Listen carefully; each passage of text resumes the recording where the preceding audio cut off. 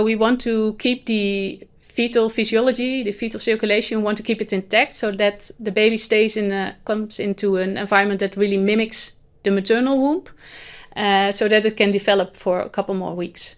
Uh, so we know that babies who are born at 28 weeks are stronger uh, and have a, a, more higher quality of life. And after the baby is born, we also only have two to three minutes to connect it to an artificial placenta for its oxygen and nutrients. Uh, because the, the maternal, the, the placenta of the mother is not working anymore once the baby is born. Uh, so that's the most critical step, I think, in the whole procedure. So then we have attached this transfer bag and we bring in our hand and then we can deliver the child into the transfer bag.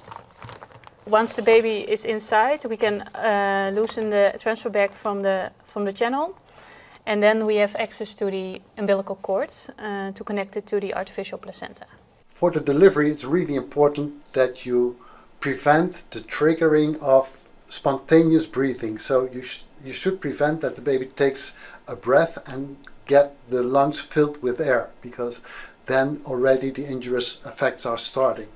So that will mean that you need a transfer device from the womb into the perinatal life support that the baby doesn't start breathing air but is in artificial amniotic fluid.